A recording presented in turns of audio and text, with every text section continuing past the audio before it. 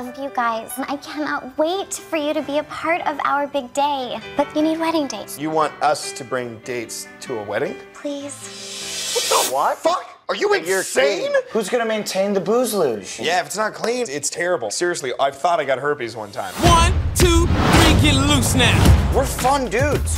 We're the coolest guys at the family event. We'll shape up for you, Jeannie. We gotta find the right girls for this. This is for Jeannie. Where do we even go?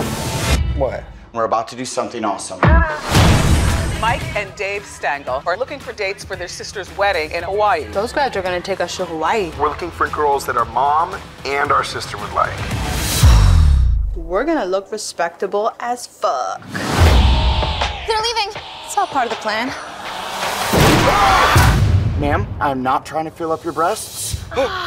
My hero. I saved your life! You okay? I saved your life! Grandma, meet Alice. She's super smart. Manage a hedge fund. Wow. We hedge it. We hedge it hard. Tatiana, she's a school teacher. Everyone get the fuck away from me! Get out of here. It's Adult Swim.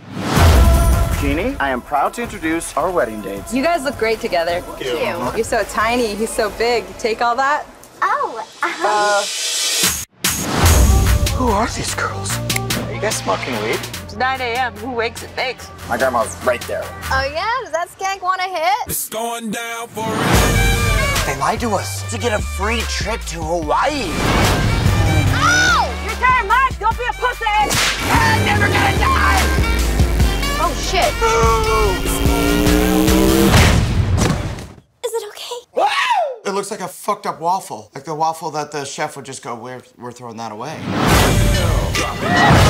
This whole wedding weekend is going to shit! Be free, my friend! Are you tripping? Dave, I'll be honest with you. I can't continue to wear this horse. What? It's those girls. The girls aren't the problem. You are. I am so stressed out! Could you help her let loose? I call this the bent penguin. Angry donkey.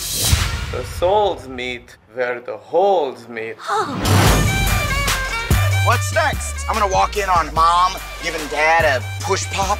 What's a push pop? It's a sexual term that I just made up. What's a push pop? It's a whole hand up an ass, David. Two Oh, hands. Oh God. Two hands. Whoa. Pushing the pop. Pushing the pop.